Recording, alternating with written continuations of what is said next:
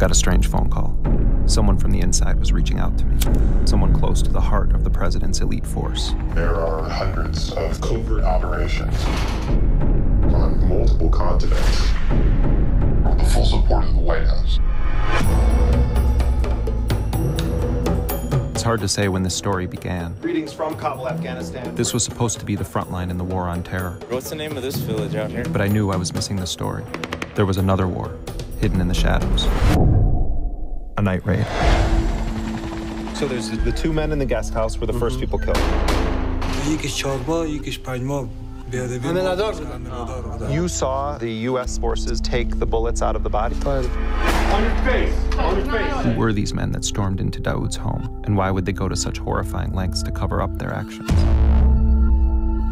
Airstrikes, targeted killings. A lot of it was a questionable legality. How had a covert unit taken over the largest war on the planet? Joining us now is Jeremy Scahill. Jeremy They're dismissing what you've done. Why are you still alive? Are you paranoid? Not the guy we did more with? Oh, he's dead. What happened? He had an accident. The list of raids read like a map of a hidden war. The right guys would get targeted. Plenty of other times, the wrong people would get killed. Algeria, Indonesia, Thailand, Jordan. What we have essentially done is created one hell of a hammer.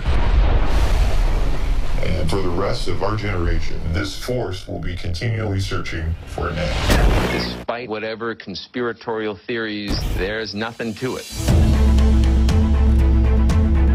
If they are dangerous, if they are too strong, definitely has a missile in his future. It's important to know when the president can kill an American citizen and when they can.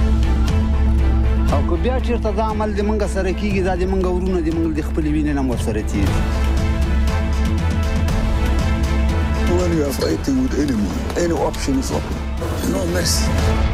America knows war. They are war masters.